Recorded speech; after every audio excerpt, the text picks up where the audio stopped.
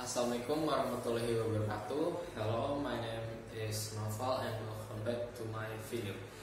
So, and in this video I will talk about where would I travel. So, first I want to go to France and go to Paris to the Eiffel Tower. Um,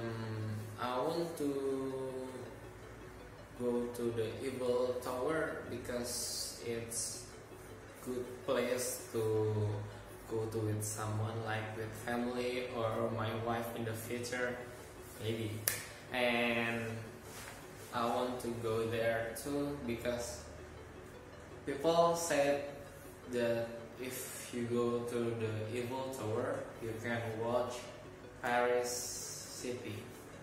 And that's why I want to France and the next countries is United Arab Emirates and I want to go to Dubai and I want to go to the Nusr-Et restaurant. Yeah I know you know the Nusr-Et restaurant uh, because the people named Salt Bae like that. And he's the owner Nashrat restaurant. Nashrat restaurant is a steak uh, steak restaurant and I want to try it because people say the steak is so delicious so I want to try it.